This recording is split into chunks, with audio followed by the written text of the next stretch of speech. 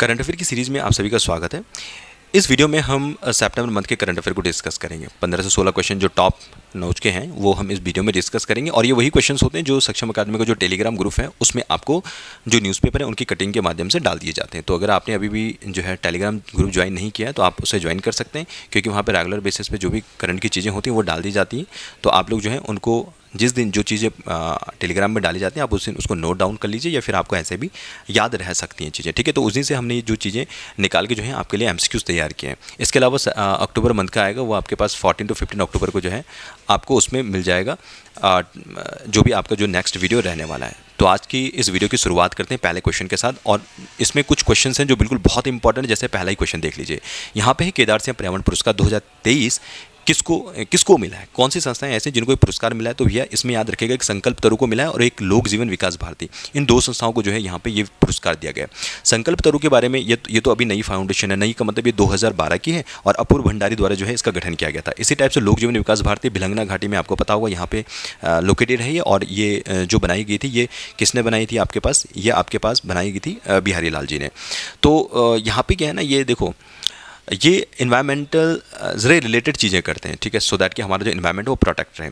इसी टाइप के जो संकल्प तरु ये टेक्नोलॉजी बेस्ड पे जो है इन्वायरमेंट को प्रोटेक्ट करने की कोशिश करते हैं। ठीक? तो मतलब टेक्नोलॉजी से रिलेटेड इन्वायरमेंट को प्रोटेक्ट करने का काम है, संकल्प तरु का। तो यहाँ पे जो है आपके पास पहला और दूसरा जो है इसका राइट आंसर हो जाता है। सेकंड देखिएगा राजभाषा हिंदी के कार्यान्वयन में अग्रणी भूमिका के लिए इस समय राजभाषा कृति पुरस्कार में जो पहला स्थान मिला है, वो किसे मिला है? ये भैया आपके टी को मिला है, ठीक है? तो ये क्या करते हैं? जो भी इनका डॉक्यूमेंटेशन होता है, यानी जो भी इनका ऑफिशियल जो वर्क होता है हिंदी में उसके लिए जो है इनको ये पुरस्कार मिला है। तो कभी कभार ऐसा ही क्वेश्चन पूछ लिया जा सकता है तो आप लोग जो है इस चीज़ को याद रख सकते हैं। हाल ही में उत्तराखंड सरकार द्वारा किस तिथि को बुग्याल संरक्षण दिवस मनाने की यहाँ पे घोषणा की है तो यहाँ पे आपके पास जो है दो सितंबर को ये बुग्याल दिवस जो है, बुग्याल संरक्षण दिवस मनाने की घोषणा की है, बुग्याल दिवस, ठीक है? इस चीज़ को ध्यान रखिएगा। तो देखिए कभी कभार क्या है ना, ऐसे क्वेश्चन डायरेक्टली ऐसे ही पूछ लिए जाते हैं तो ये अगर आपको ध्यान है तो आप इसको आसानी से कर सकते हैं, और अगर आपको पता नहीं है तो भैया फिर ऐसे क्वेश्चन होने बहुत मुश्किल ही है। चलिए, आगे बढ़ते हैं यहाँ पे। क्वेश्चन आपके पास है कि यार उत्तराखंड के पाँचवें राज्य ओलंपिक खेलों में किस जनपद को सर्वाधिक गोल्ड मिले? इससे रिलेटेड काफ़ी क्वेश्चन होंगे तो हम उसको आगे डिस्कस करते रहेंगे। तो यहाँ पे जो है, देहरादून जो है, इसका राइट आंसर हो जाता है। क्वेश्चन नंबर है, उत्तराखंड के पाँचवें राज्य ओलंपिक खेलों में एकमात्र जिला जिसे स्वर्ण पदक नहीं मिला तो यहाँ पे आपके पास क्या हो जाता है? ये उत्तरकाशी यहाँ पे हो जाता है, ठीक है? तो ओलंपिक जो इस बार हुए हैं, उसमें काफ़ी पदक मिले हैं, ठीक है? तो लगभग जितने भी हमारे तेरह डिस्ट्रिक्ट हैं, उनमें से बारह डिस्ट्रिक्टों को कुछ ना कुछ ज़रूर मिला है स्वर्ण पदक के मामले में। लेकिन उत्तरकाशी एक मात्र ऐसा है जिसे यहाँ पे कुछ भी नहीं मिला है। तो इसको थोड़ा सा आपको इन चीज़ों को थोड़ा ध्यान रखना है। राज्य सरकार द्वारा उत्तराखंड प्रवासियों को मातृभूमि से जोड़ने के लिए किस पोर्टल को यहाँ पे लॉन्च किया है? तो यह है भैया उत्तराखंड प्रवासी प्रकोष्ठ। देखिए, यहाँ पे कभी अगर आ भी गया है तो यहाँ पे प्रवासी उत्तराखंड गवर्नमेंट डॉट इन, ठीक है, ये इनकी वेबसाइट है। तो इस टाइप का इन्होंने लॉन्च किया है उत्तराखंड गवर्नमेंट ने। इनका बस एक ही मोटो मोटो ये है भैया, जो लोग उत्तराखंड से बाहर रह रहे हैं। बाहर मतलब या तो फॉरन रह रहे हो या फिर उत्तराखंड से बाहर किसी भी अन्य, जो भी हमारी सिटीज़ हैं, वहाँ रह रहे हैं। तो उन लोगों को क्या है, उत्तराखंड गवर्नमेंट क्या काम कर रही हैं उत्तराखंड के लोगों के लिए? क्या क्या स्कीम्स हैं? उन चीज़ों से अवेयर करवाने के लिए बेसिकली इस पोर्टल को जो है बनाया गया है। ठीक है तो इस चीज़ को थोड़ा सा आपको ध्यान रखना है। कभी कभार क्वेश्चन यहाँ से पूछा जा सकता है। अच्छा एक चीज़ में एक और आप चीज़ यहाँ पर ध्यान रख सकते हैं। वो ध्यान क्या है। वो है यहाँ पे जो एक प्रवासी सम्मेलन है। मतलब क्वेश्चन पूछ लिया जाएगा, उत्तराखंड प्रवासी सम्मेलन कब मनाया जाएगा? तो ये भी आपको ध्यान रखना है कि इसकी जो तिथि है, वो है आपके पास सात नवंबर की। ठीक है तो मैं आपको बहुत ज़्यादा इसमें डिटेलिंग में नहीं जा रहे हैं अभी हम। जो इंपॉर्टेंट इंपॉर्टेंट चीज़ें बस केवल हम उन्हीं को डिस्कस कर रहे हैं। एट क्वेश्चन देखिए पर्यावरण मंत्रालय की ओर से राज्य के श्रेष्ठ कृषि आधारित पर्यटन गाँव का पुरस्कार मिला है। देखिए, ये बहुत इंपॉर्टेंट है। और वेरी वेरी इंपॉर्टेंट कहीं ना कहीं आपको आगामी जो भी एग्ज़ाम है, उसमें देखने को इस टाइप से, ये जो क्वेश्चन है, कुछ ना कुछ देखने को मिलेगा। देखो, सबसे पहले बात है कि एक आता है हमारे पास साल 2024 साल 2024 में हमारे पास पर्यावरण पर्यटन दिवस की जो थीम है, वो थी आपके पास पर्यटन और शांति। देखिए, जो इंपॉर्टेंट है ना, बस मैं आपको वही चीज़ें बता रहा हूँ, पर्यटन पर्यटन और शांति। ये तो सबसे पहली बात है कि ये थीम थी इसकी।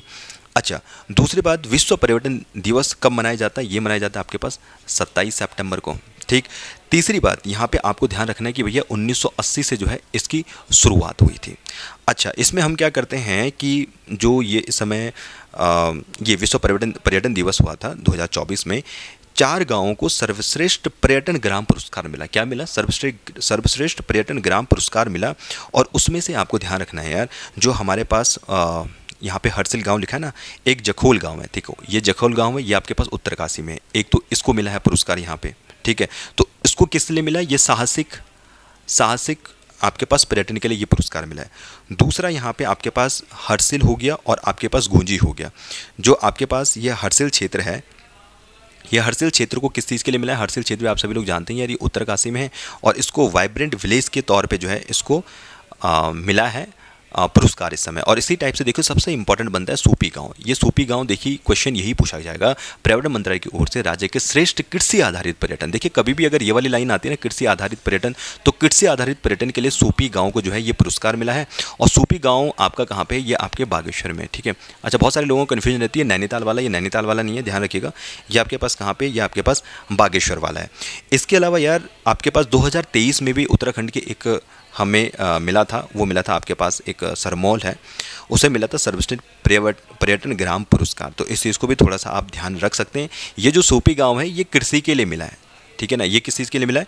ये कृषि के लिए आपको मिला है। और आपके पास आ, जो आ, ये जखोल वाला है वो सासे के लिए हो गया और हर्सिल किस चीज़ के लिए हो गया? आपके पास ये वाइब्रेंट विलेज के लिए हो गया। इस चीज़ को ध्यान रखना। बाकी गूंजी के लिए भी आपको वाइब्रेंट विलेज के लिए मिला ये आपके पास कहाँ पे आपके पास ये पिथौरागढ़ में हो जाता है। तो ये चार क्वेश्चन चार चीज़ें आपको यहाँ से पूछी जा सकती हैं। पर्टिकुलर क्वेश्चन देखिएगा कृषि आधारित पर्यटन के लिए आपको सोपी गाँव क्लियर हो गई बात? चलिए आगे बढ़ते हैं।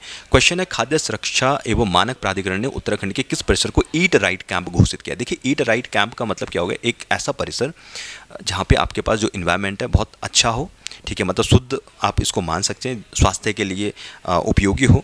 आपको जहाँ पे बेहतर भोजन मिले। तो यहाँ पे दो, जैसे आपके पास एक शुद्ध वाला कारागार हो गया, ठीक है, और एक सचिवालय हो गया, इन दोनों को जो है इस समय ईट राइट कैंप जो है, घोषित किया गया है। तो इसमें आपको बस ये चीज़ें हैं जो ध्यान में रखनी है। टेन क्वेश्चन देखिए, देहरादून में आयोजित की गई उत्तराखंड प्रीमियर लीग 2024 का खिताब जो है, ये किसने जीता था? तो इस चीज़ को आप उधम सिंह ने कहा, ठीक है? इस चीज़ को ध्यान रखना यूएस ने जो है यहाँ पे, इस खिताब को यहाँ पे जीता था। हाल ही में जारी राज्य खाद्य सुरक्षा सूचकांक 2024 में उत्तराखंड का कौन स्थान रहा। तो ये भी अक्सर आपने शायद पढ़ लिया होगा। तो यहाँ पे इस समय ध्यान रखिएगा, इस समय उत्तराखंड को जो है, यहाँ पे कौन सा स्थान मिला? यहाँ पे अठारह स्थान मिला है, ठीक है? पहला किसको मिला था? पहला आपके पास यहाँ पे केरल को मिला था। तो ये वाला जो क्वेश्चन है, ये भी इंपॉर्टेंट है, ठीक है? तो इस चीज़ को भी थोड़ा सा आप ध्यान रख सकते हैं। बाकी ये फसाई ने यह जारी किया था और इसमें थोड़ा सा उत्तराखंड से रिलेटेड कुछ चीज़ें हैं जो आपको थोड़ा सा ध्यान रखनी देखिए, एक यहाँ पे, हाल ही में एक वैज्ञानिक हैं, जिनका नाम है गजेंद्र सिंह। ये हैं गजेंद्र सिंह। और इनको हिमालय क्षेत्र में विशेष कार्य के लिए इनको गिरी गंगा गौरव सम्मान मिला है। गिरी गंगा गौरव। तो इस चीज़ को थोड़ा सा आप एक चीज़ ध्यान रखिएगा, ये थोड़ा सा इंपॉर्टेंट चीज़ें बन सकती हैं कि भैया गिरी गंगा गौरव सम्मान किसे मिला हुआ है तो आप इस चीज़ को ध्यान रखना भैया, गजेंद्र सिंह को मिला है। सुप्रीम कोर्ट की कॉलेजियम ने उत्तराखंड उच्च न्यायालय के नए मुख्य न्यायाधीश में सिफारिश किसकी की है? ठीक है तो ये भी अभी हाल ही खबरों में शायद आपने ये पढ़ भी लिया होगा। तो यहाँ पे आपके पास जो है नरेंद्र जी, ठीक है तो इनको जो है नया न्यायाधीश यहाँ पे बनाया जाएगा। आप सभी लोग जानते होंगे जो वर्तमान में हैं, आपके पास वो ऋतु बारी जी हैं। ठीक है? तो ये आपके पास 10 अक्टूबर को जो है ये सेवानिवृत्त हो चुकी हैं। बाकी इसके बाद नरेंद्र जी, इनसे पहले भैया ये आपके पास क्या था? ये आंध्र प्रदेश कोर्ट के जो है वरिष्ठ न्यायाधीश रह चुके हैं। आगे बढ़ेंगे थर्टीन क्वेश्चन की तरफ़। क्वेश्चन है आपके पास, राजभाषा गौरव पुरस्कार। ये राजभाषा गौरव पुरस्कार से किसे यहाँ पे सम्मानित किया गया है? तो यहाँ पे गिरीश चंद्र जोशी जी को राजभाषा गौरव पुरस्कार मिला हुआ है। ये जो गिरीश चंद्र जोशी जी हैं, राजभाषा गौरव पुरस्कार जानते हैं आप? जो मतलब जो जो आपके पास विज्ञान के क्षेत्र में हिंदी भाषा में कोई काम करते जैसे इन्होंने एक पुस्तक लिखी है जिसका नाम है विज्ञान और ब्रह्मांड, ठीक है? विज्ञान और ब्रह्मांड। बाकी इसमें आप थोड़ा सा डिटेलिंग चाहो तो आप इसको पढ़ लीजिएगा, जितना मुझे पता है, मैं आपको वही चीज़ बता रहा हूँ। तो इन्होंने क्या किया एक किताब लिखी है। तो यहाँ पे इसी में उन्होंने जो है हिंदी में ये बेसिकली बुक लिखी होगी। तो यहाँ पे इन्हीं के लिए जो है इन्हें पुरस्कार मिला है, ठीक है? तो ये क्या है ये? ये विज्ञान के क्षेत्र में हिंदी भाषा के लिए मिलने वाला पुरस्कार है। तो इसमें क्या क्या मिलता है? एक प्रशस्ति पत्र मिलता है, दो लाख रुपए मिलते हैं और साथ साथ में ट्रॉफी वगैरह भी इसमें मिलती है। तो इसमें थोड़ा सा आपको यही चीज़ें हैं जो आपको ध्यान में रखनी है। चलिए आगे बढ़ते हैं। अल्मोड़ा निवासी कंचन पंत को किस फ़िल्म के लिए इमेजिन इंडिया फेस्टिवल एवं बेस्ट डायरेक्टर का अवार्ड मिला है? तो ये आपके लिए डियर लतिका के लिए मिला है। ये थोड़ा सा इंपॉर्टेंट है। पहली बात की क्वेश्चन ये आ सकता है, कंचन पंत का रिलेशन मतलब कौन से एरिया से, उत्तराखंड के कौन से क्षेत्र से या कौन से डिस्ट्रिक्ट से? तो उसका आपका अल्मोड़ा ध्यान रखिएगा और बाकी इनके लिए बेस्ट डायरेक्टर का अवार्ड किसके लिए मिला इनको? डियर लतिका के लिए इनको बेस्ट डायरेक्टर का अवार्ड मिला है। क्वेश्चन नंबर फिफ्टीन राज्य के किस स्थान पर पाँचवें राज्य ओलंपिक खेलों का आयोजन किया गया? तो देखिए, यहाँ पे इस समय ये किया गया था रुद्रपुर में, ठीक है? मतलब उद्घाटन यहाँ पे रुद्रपुर में किया गया था, ठीक है? यहाँ पे एक मनोज सरकार स्टेडियम है, वहाँ पे जो है इस, इन खेलों का जो है उद्घाटन किया गया। बाकी देखो, हर जगह जो है इन खेलों का जो है आयोजन किया गया। मतलब सभी में आयोजन किया गया। उद्घाटन के लिए पर्टिकुलर पूछा गया तो यहाँ पे रुद्रपुर आ जाएगा आपके पास मनोज सरकार स्टेडियम, ठीक है? तो अभी के लिए जो है उपयुक्त सभी जो है इसके आंसर हो जाते हैं। शिक्षण की तरफ़ चलेंगे। प्रदेश का पहला रिमोट पायलट ट्रेनिंग ऑर्गेनाइजेशन कहाँ स्थापित किया जाएगा? तो इसका क्वेश्चन आएगा, सूचना प्रौद्योगिकी विकास एजेंसी या भारतीय प्रबंधन संस्थान, ठीक है? तो मैं यहाँ पे सारी चीज़ें नहीं पढ़ रहा हूँ, ये चीज़ें थोड़ा सा खुद ही आपको पता होना चाहिए तो सूचना प्रौद्योगिकी विकास एजेंसी।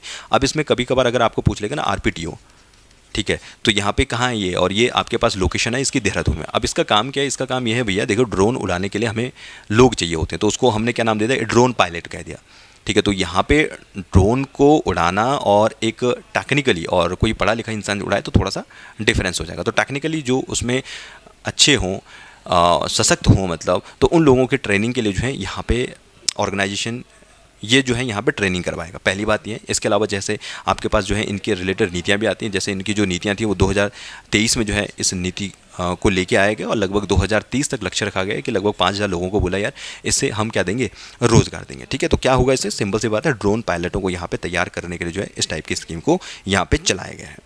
चलिए आगे बढ़ते हैं। राज्य सरकार द्वारा किस दिन को गढ़ भोज दिवस मनाने का आह्वान किया है। देखिए, आपने आपको मतलब पहले भी पता होगा, काफ़ी बार आया ये सात अक्टूबर ये तो चलता आ रहा है, लेकिन आह्वान किया है भैया, इसलिए थोड़ा सा इंपॉर्टेंट बन जाता है। बाकी आप सभी लोग जानते होंगे यार, यहाँ पे द्वारिका प्रसाद सेमवाल जी। ठीक है, ये द्वारिका प्रसाद सेमवाल जी हैं। इन द्वारिका प्रसाद सेमवाल जी के नेतृत्व में सन 2000 से जो है, ये अभियान शुरू किया गया गढ़भोज अभियान। तो आप देख ही रहे हैं भैया गढ़भोज हमारे जो भी जो है पहाड़ों के जो इंपॉर्टेंट खाद्य जो सामग्रियाँ हैं, जिसमें कोदा, झंगोरा इस टाइप की जो चीज़ें आ जाती हैं तो उनको थोड़ा प्रमोट करने के लिए जो है, ये सारी चीज़ें यहाँ पे चलाई गई हैं। तो ये था कुछ इंपॉर्टेंट इंपॉर्टेंट चीज़ें तो आगे से जो भी रहेगा, हमारा जो करंट रहेगा, उसमें जो है, हम और बेहतर तरीके से डिटेलिंग में करने की उसका कोशिश करेंगे। ठीक है तो आज के इस वीडियो में इतना ही, मिलेंगे एक और नई वीडियो के साथ।